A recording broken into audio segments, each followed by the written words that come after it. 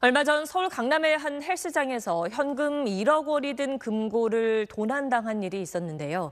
절도 용의자인 30대 남성이 부산에서 술에 취한 채 난폭 운전을 하다 붙잡혔습니다. KNN 황보람 기자의 보도입니다. 도로 한복판에서 소리를 지르는 남성을 경찰관들이 붙잡습니다. 순찰차에 태우려는 경찰에게 이 남성은 몇 분 동안 강하게 저항합니다. 못해? 들어가세요.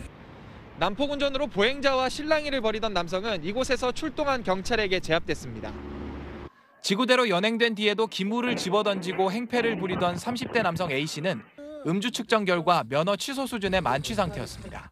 술 냄새가 많이 났었고 누가 봐도 술을 드신 상태인 것처럼 보이더라고요. 만취한 A씨는 조사 도중 방송국 PD를 사칭하는가 하면 금고와 형사 등 엉뚱한 이야기를 늘어놨습니다.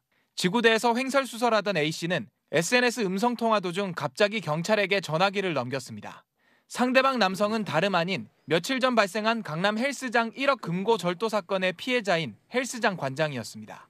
옆에 누구 있으면 좀 바꿔봐라. 대화가 안 되니까. 바꿨더니 경찰분이 이제 전화를 받은 거죠. 논리적 범행 뒤 부산으로 도주한 A씨는 유흥업소 등에서 훔친 돈을 탕진하며 이 모습을 SNS에 올리기도 했습니다. A씨에 대한 구속영장 심사가 진행된 가운데 경찰은 다른 일당과 훔친 금고 등의 위치를 추적하고 있습니다. KNN 황보람입니다. 네, 안녕하십니까. 김현우입니다. 더 많은 뉴스와 라이브 이벤트를 보고 싶으시면 예, 여러분 보시기에 화면 오른쪽을 눌러서 구독해 보시길 바라겠습니다. 또 저희 SBS 앱을 다운로드 하시면 속보 알림도 받아 보실 수 있습니다.